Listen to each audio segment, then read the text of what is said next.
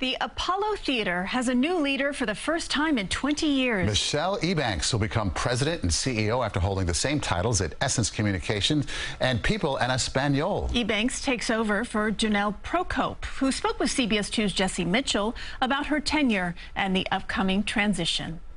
I'm so proud of what we've been able to accomplish up until this point. When Jonelle Procope was appointed president of the Apollo Theater in 2003, the building had become a shell of its original glory. What possessed you to take on such an undertaking at a time when there was a lot of work to do here? The theater was languishing, but it was the Apollo. It's not something I ever thought about or aspired to. And very often in life, um, these opportunities present, and we just step up to the plate. 20 years later, she turns over control to Michelle Ebanks, who comes from the largest media company dedicated to black women, Essence. She's going to be amazing, and I feel gratified. I don't feel um, any reservation because I think that we've laid an excellent foundation. Procope's final bow comes after securing $80 million to complete renovations here and to expand to the stages of Victoria Theater a few doors down. The fact that we will be a performing arts center is a monumental accomplishment.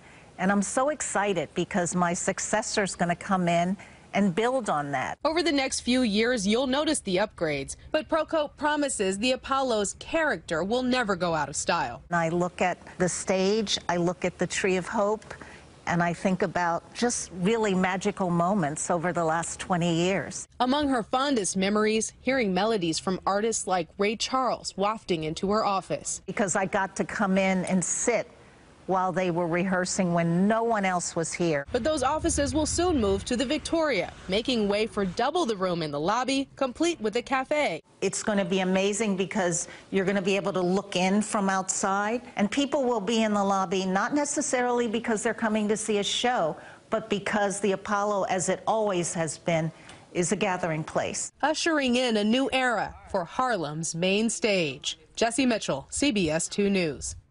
Next Monday, the Apollo will host its spring benefit, paying tribute to Tina Turner while honoring Sean Diddy Combs, Kareem Abdul-Jabbar, and Warby Parker. If you have a story that you'd like to share with Jessi, you can email the details to harlemtip at cbs.com.